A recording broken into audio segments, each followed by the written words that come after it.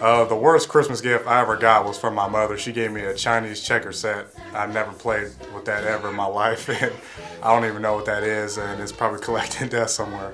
My worst Christmas gift was a, a bag of peanuts and a box of oranges from my aunt.